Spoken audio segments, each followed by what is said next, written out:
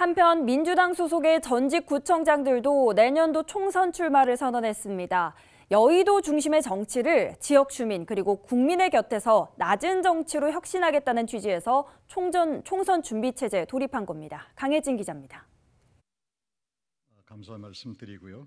민주당 소속 기초자치단체장 42명이 내년 총선 출마를 선언했습니다. 풀뿌리 정치연대, 혁신과 도전 창립과 동시에 국회의원 출마 의지를 모은 겁니다.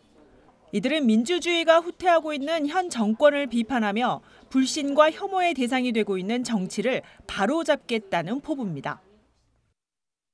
민주주의는 전면적으로 후퇴하고 있고 국민 통합에 앞장서야 할 대통령은 철지난 이념 전쟁에 몰두하면서 야당을 포함하여 자신에게 비판적인 국민들을 공산 전체주의 세력으로 매도하고 있다.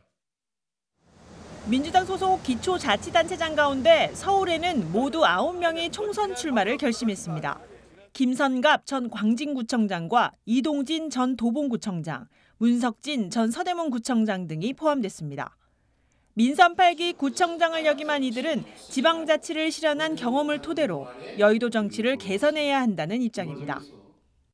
토에 차근차근 그 검증된 분들의 구성이라기보다 어, 이미지를 가지고 공천하고 이, 이, 렇게 하는 경우가 많았지 않습니까? 그래서 어, 검, 실력을 검증받은 사람 또는 아래로부터 민주주의를 실천해 온 사람 아, 이런 사람들이 이 국회에 입성하는 것이 매우 중요하다. 무엇보다 단체장 출신들이 정치연대를 꾸린 만큼 지역 발전에 기여할 강점을 드러냈습니다. 짧게는 4년, 저 같은 경우는 12년 동안 직접 지역 주민과 함께 지역의 발전을 위해서 또 변화를 위해서 노력해왔던 그런 과정이 있기 때문에 그게 아무래도 큰 강점이라고 생각하죠. 민선 8기 민주당 출신의 기초자치단체장 151명 가운데 총선 출마 의사를 밝힌 인물은 모두 42명입니다. 기초자치단체장들의 집단적인 총선 출마는 이번이 첫 사례입니다. BTV 뉴스 강혜진입니다. BTV 뉴스를 더 많이 보고 싶으시다면 여기 구독 버튼을 눌러주세요. 추천 영상도 누르면 바로 재생됩니다.